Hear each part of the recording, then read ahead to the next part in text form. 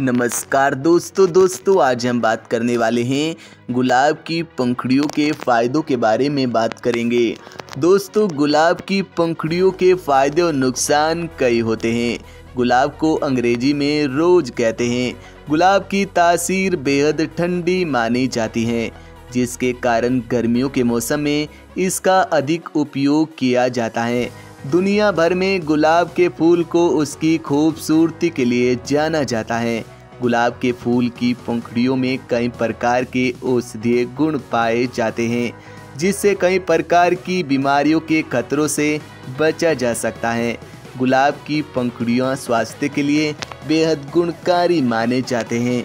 दोस्तों, आइए जानते हैं अन्य भाषाओं में गुलाब के नाम के बारे में।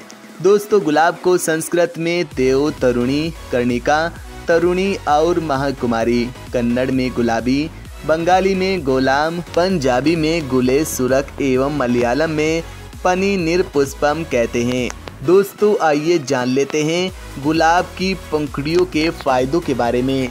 दोस्तों, गुलाब की पंखुड़ियों का सेवन करने से हड्डियों को मजबूती मिलती है। बढ़ती उम्र के कारण हड्डियाँ कमज़ोर हो जाती हैं।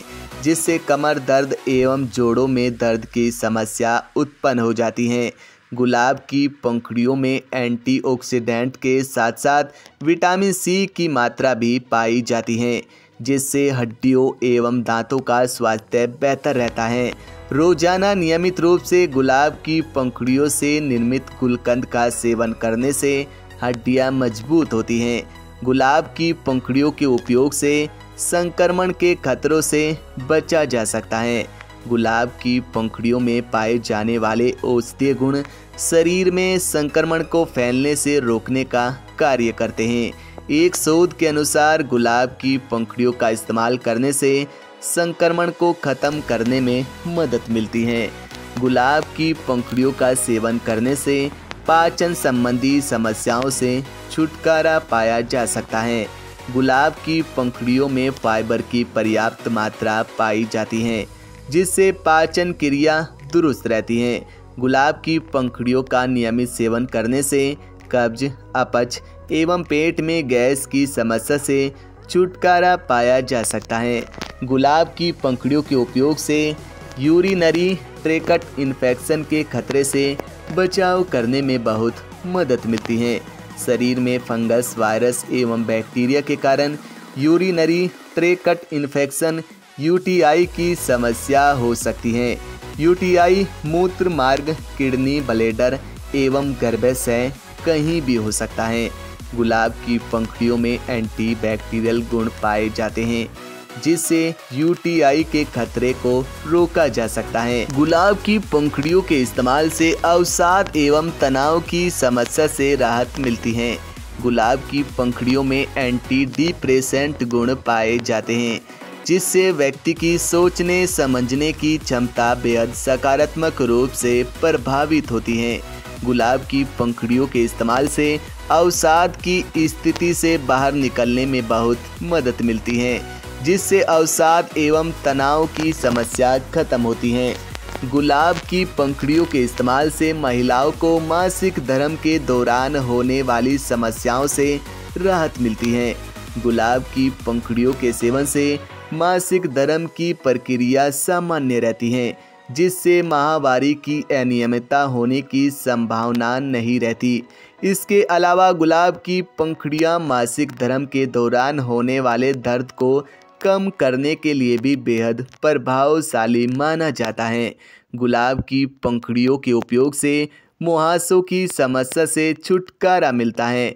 गुलाब की पंखुड़ियों में पाए जाने वाले विटामिन में एंटी इन्फ्लेमेटरी गुण मौजूद होते हैं, जिससे मुहासों, डार्क सर्कल्स एवं दाग धब्बों की समस्या को ठीक करने में बहुत मदद मिलती है। गुलाब की पंखुड़ियों का इस्तेमाल करने से त्वचा संबंधी विकारों से छुटकारा मिलता है।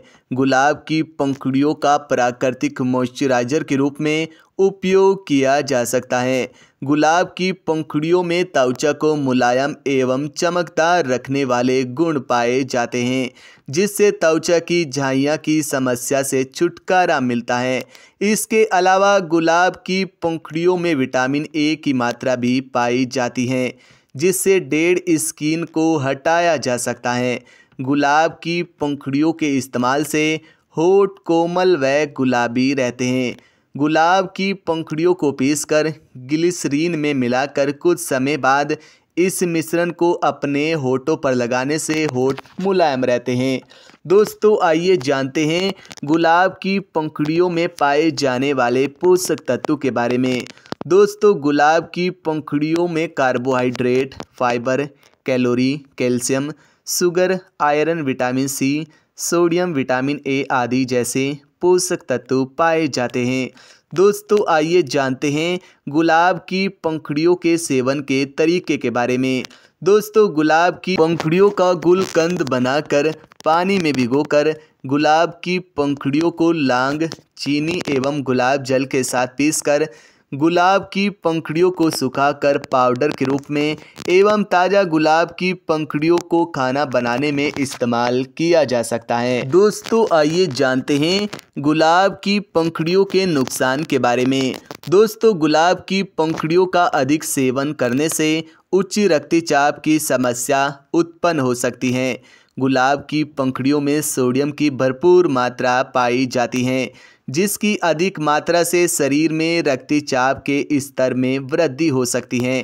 गुलाब की पंखड़ियों का अत्यधिक सेवन करने से सिर दर्द एवं मतली जैसी समस्याओं का सामना करना पड़ सकता है। गुलाब की पंखुड़ियों में विटामिन ए की मात्रा पाई जाती है जिसकी अधिक मात्रा से शरीर में इस प्रकार की समस्या उत्पन्न हो सकती है। गुलाब की पंखड़ियों का अधिक सेवन करने से रक्त में शुगर की मात्रा बढ़ सकती है, जिससे मधुमेह जैसी बीमारी का खतरा बढ़ सकता है। गुलाब की पंखड़ियों का अत्यधिक सेवन करने से दस्त की समस्या उत्पन्न हो सकती है। एलर्जी की समस्या वाले व्यक्तियों को गुलाब की पंखड़ियों के इस्तेमाल से पहले डॉक्टर की सलाह अवश्य ले लेनी चाहिए। दोस्तों, अगर आपको हमारा यह वीडियो अच्छा लगा हो तो इसे लाइक करें और ज़्यादा से ज़्यादा शेयर करें और हमारे चैनल को सब्सक्राइब करना ना भूलें।